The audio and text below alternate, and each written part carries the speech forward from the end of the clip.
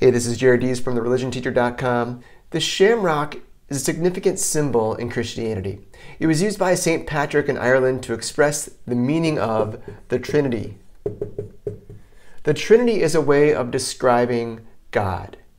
We as Christians believe in one God, but that God is three persons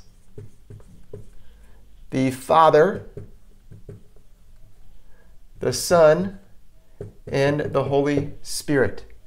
That even though there is one stem to uh, the shamrock, this three leaf clover, each of the leaves are attached as one, but are also separate.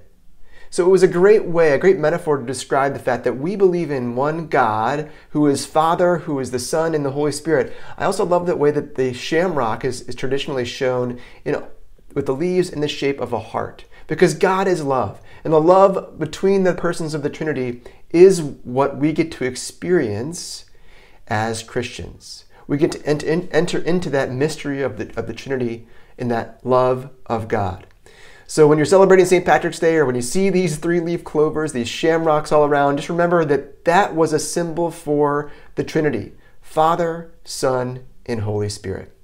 Go make disciples. God bless.